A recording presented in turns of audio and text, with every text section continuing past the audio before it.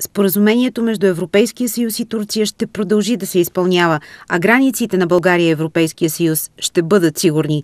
Анкара и Брюксел подновяват активния диалог помежду си по всички въпроси.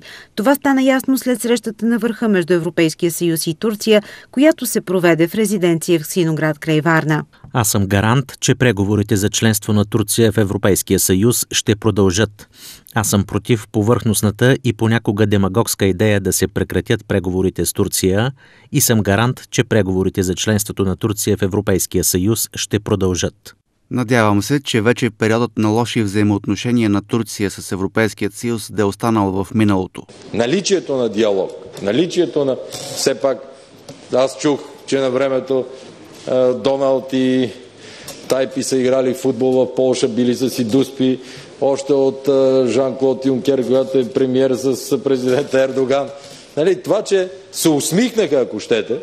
Брюксел обеща на Анкара да изплати дължимите 3 милиарда евро за бежанците. Турция да поеме по пътя на европейските стандарти. Искаме да окоръжим Турция да работи с съвета на Европа и да не бъдат уронвани човешките права.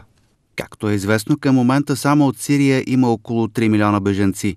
И като добавим тези от Ирак, вече броят на беженците в Турция става 4 милиона.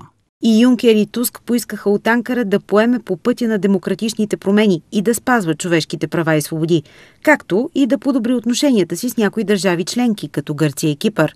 Ердоган пък постави въпроса за визовата либерализация на турските граждани и поиска напредък в преговорите за членство на Турция в Европейския съюз. Нашата кандидатура за Европейският съюз започна през 1963 година. Вече сме 2018 и действително ние все още не сме нищо повече от кандидат за член, въпреки изминалото време. Турция да поеме по пътя на европейските стандарти. Искаме да окоръжим Турция да работи с съвета на Европа и да не бъдат уронвани човешките права.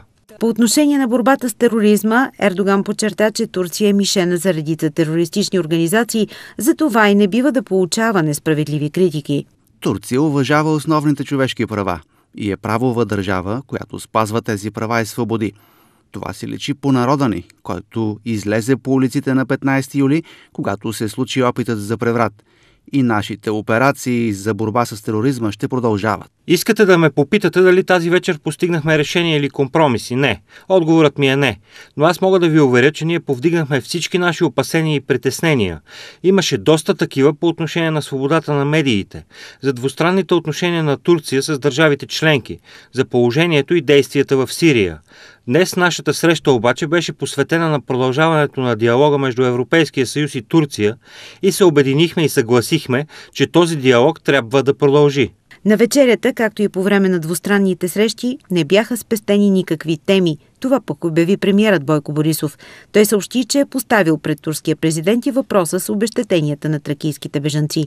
Има и доста претенции от страна на турската страна, но това, което се договорим е в комисии, в работа, в срещи, да чистим една, по една темите, тъй като от много-много десетилетия те не само, че не са решени, не са поставени така както трябва, Бойко Борисов обяви още, че България ще се опита да организира втора подобна среща в рамките на европредседателството си през юни.